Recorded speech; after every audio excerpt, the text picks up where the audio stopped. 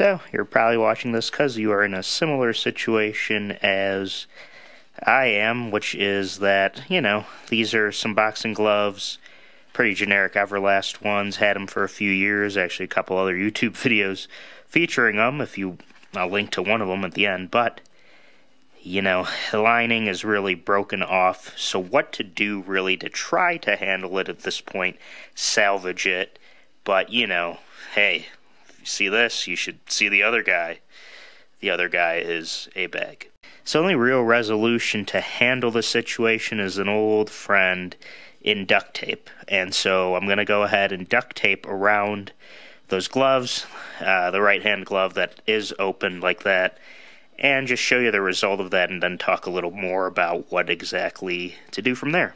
Okay, so I wrapped uh, this around the duct tape, cut certain portions because it's such an odd area, of course, of the glove that was where it was torn open. Now, you may be saying to yourself, that looks like butt, and I cannot disagree with you. I agree entirely. It does look like butt.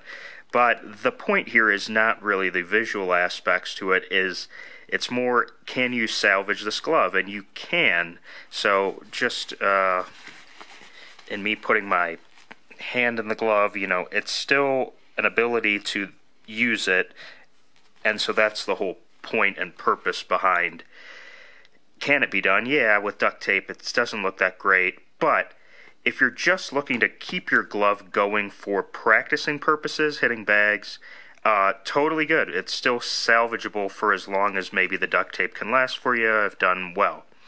Uh, do not use them in matches, uh, you know, any other thing where it's much more intense.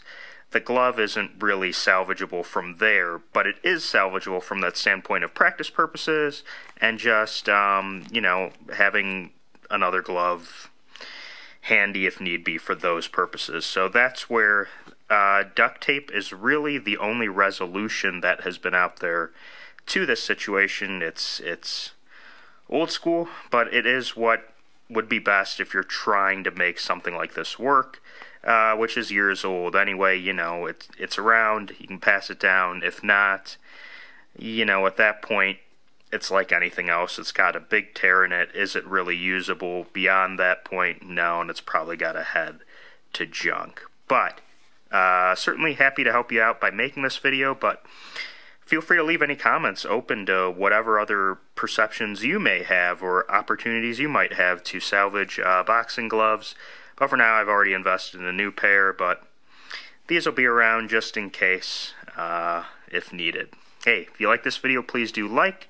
And again, subscribe to the channel. More to come when any situations might arise for me like that. Knock 'em out.